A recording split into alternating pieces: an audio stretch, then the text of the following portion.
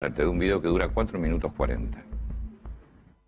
Flor, que estudió cine, que, le encanta el cine, que es una apasionada de lo que hace, fue co-guionista de este documental que obtuvo un premio en ese festival. Y decidió hacer una consulta médica ya por el prestigio internacional que tiene el sistema de salud cubano, que como todos saben es de altísima calidad. Allí le revisaron y le indicaron que debía comenzar un tratamiento. Y terminado el festival, retornó al país ese mismo diciembre. Creo que el 19, el 20, no me acuerdo cuándo volvió, cuándo llegó, pero fueron ahí inmediatamente. En febrero volvió a viajar a La Habana para realizar un curso intensivo para guionistas de cine que tendría lugar entre el 18 de febrero y el 8 de marzo. Sin embargo, no pudo siquiera iniciarlo porque cuando llegó luego del vuelo, su estado de salud se había deteriorado sensiblemente.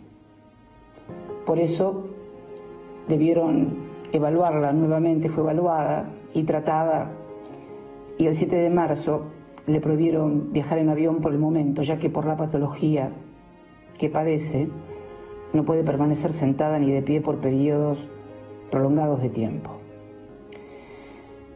Cuando se hizo la presentación del certificado médico ante los tribunales, solicitamos, bueno, solicitamos lo que corresponde, la reserva que el caso amerita para no seguir afectando todavía más su estado clínico.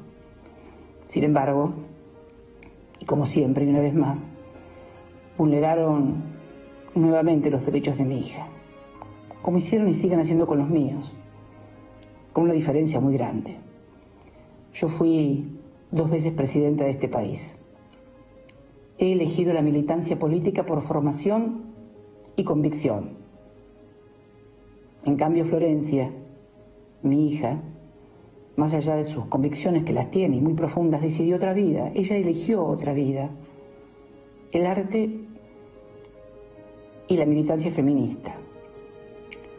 La persecución que han hecho sobre ella y que la ha devastado es porque es la hija de Néstor y Cristina Kirchner. Solo es por eso, porque es nuestra hija.